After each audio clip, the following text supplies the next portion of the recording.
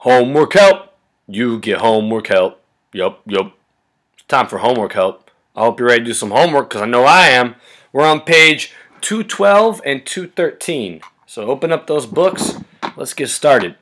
On 212, you'll see uh, a question towards the top. It says, Julie made four liters of orange juice.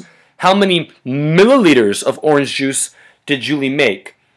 Um, well, this is a lot like uh, grams and kilograms. Uh, with liters and with milliliters, one liter equals 1,000 milliliters. And that's important to know. Uh, let's take a moment and try to remember all the amazing conversions we've, we've learned so far.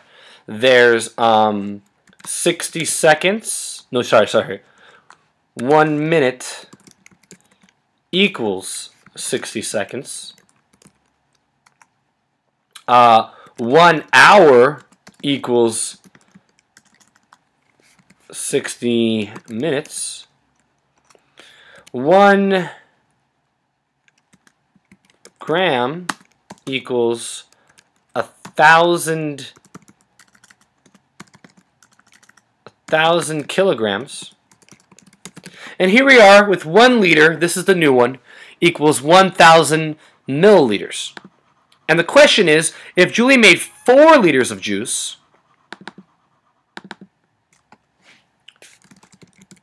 how many, how many milliliters would that be?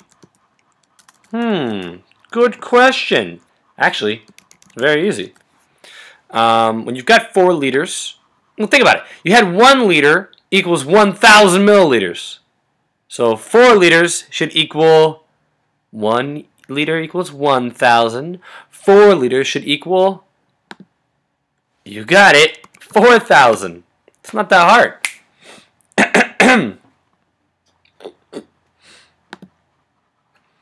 Look at this picture. It kind of makes you see what it would look like in real life. Think about it this is like a measuring cup. Right here it says 1 liter. Right there it says 1,000 milliliters. But they're the same. So if you had 4 liters, you'd also have 4,000 milliliters. You can use a little uh, area model or bar model to show the same thing. Oops, sorry about that. Look at the picture of the beakers.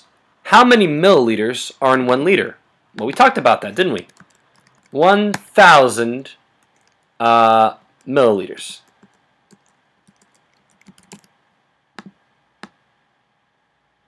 There you go. Look at the number. Look at the number pairs in each column of the table. Each number of milliliters is how many times that number of liters. They're talking about this down here. So it's 1, 1,000, 2, 2,000, 3, 3,000, 4, 4,000, 5, 5,000. So what are they multiplying by? They're just multiplying by 1,000.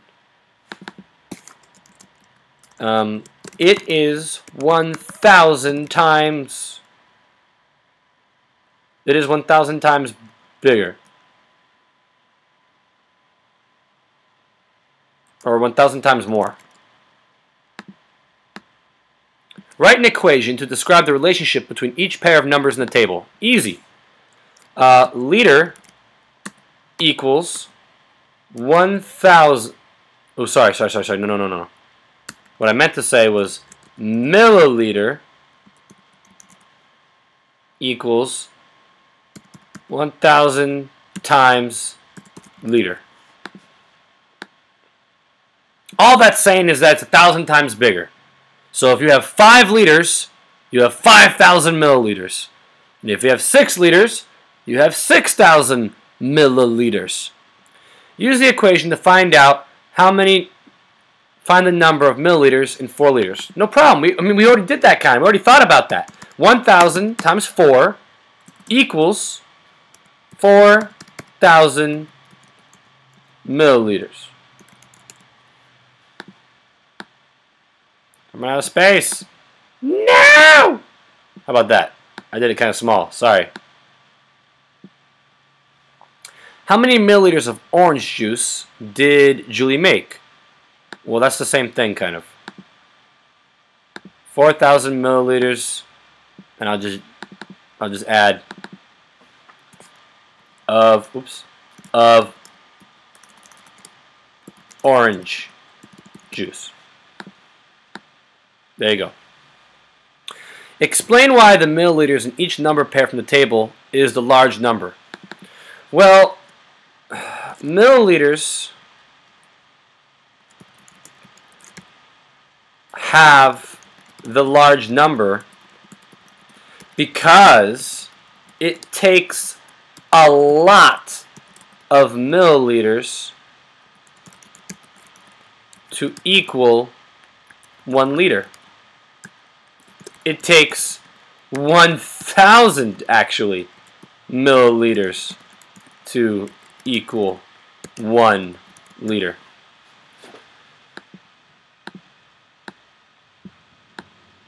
Let's look at the practice problems at the bottom of the page, uh, 13 and 14.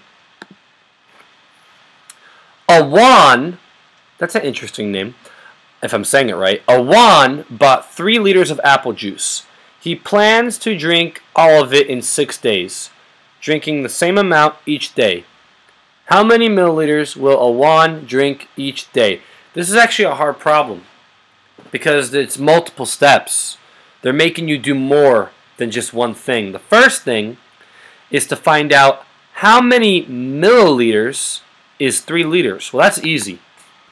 3 times 1,000 equals 3,000 milliliters. Here's the interesting part, is that you're not done once you do that. You're not. But Mr. Graham, I did 3 times 1,000, I should be done. No, no. Because then look at the last part of the question. That's a weakness a lot of us have. We don't read the whole question. We don't see what the whole whole question is. How many milliliters will a Juan drink each day? Well, there's six days. So, hmm, that's like a division problem. 3,000 divided by 6. Or you could think of it as how many times, or, or 6 times what equals 3,000. So let's do the division problem on the bottom. I can help you out with that, don't worry. It won't even take that long, because it really is actually an easy one. so we have 3,000. Oh boy. We want to divide it by 6 because of the six days. Let's do the uh, area model.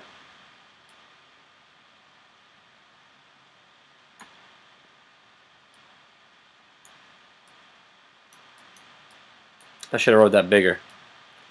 Ah, it's a 3,000. 6 into 3,000. Well, don't look at the whole 3,000. Ask yourself, can 6 go into 30? I mean, 3? No. But can it go into 30? Yes. 6 times 5 equals 30. And then you put placeholder zeros and do a little subtraction.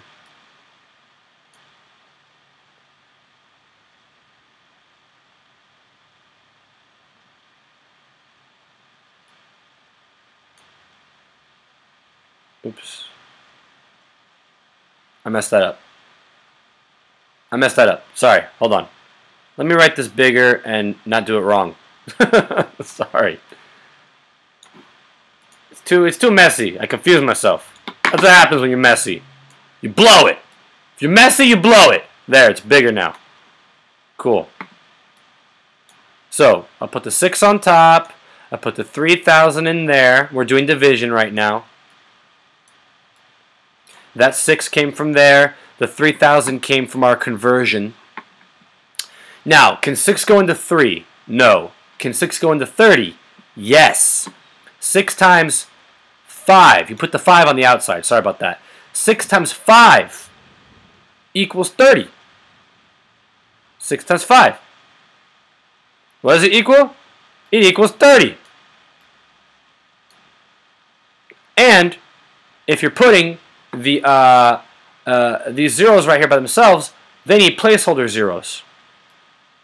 And if you put those zeros on outside, they have to go they have to go on the inside and the outside. Those two zeros I added, I also added them right there. 6 times 5, that equals 30. Now you can subtract. 3,000 minus 3,000. Oh, it's 0. We're done already. We're done already! The answer is 500. Mr. Graham did mess up in the beginning, and I apologize. And um, if division in general is too hard for you, you can also double check. You can say to yourself, self, um, 500 plus 500 plus 500 plus 500 plus 500 six times will also equal 3,000. Anyway, how many milliliters will a Juan drink each day? 500 milliliters.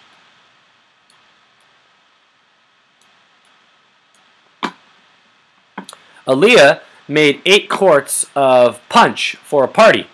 That's nice of her. I hope I hope she has a good time at her party. Um, make a table or write an equation to find the number of cups of punch she has. One quart equals four cups. It's a good thing they gave us that because maybe you don't have it memorized. So one quart equals four cups, and she made eight quarts. Here's the table. The table is going to be a long rectangle cut in half. On top, you're going to go ahead and put uh, Q for quarts and C for cups. And you just do it like this. One quart equals four cups. One quart, four cups. What would two quarts be? Let's see. Four, and then another four would be eight. How about three quarts? How about four quarts? You see a pattern? How about five, six, seven, and eight? It's okay. It's not that bad. We can make the pattern. We can follow the pattern. 20 cups. What's 6 times 4? 24 cups. What's 7 times 4? 28 cups. Add another 4. What do you get? 32 cups. I'm going to circle that because that's our answer, kind of. Write an equation to find out the number of cups of punch she has. She has 32 cups. All right, guys. Taking a look at this, you might be you might begin to see that the conversion part is not the hard part.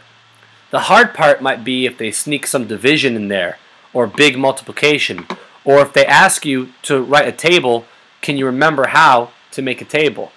It's all stuff that we'll have to practice and go over together. Or maybe you're kicking butt. Maybe you can do it on your own. Good for you. All right, guys. That's all the time we have for today. Thanks for joining me for homework. See you next time.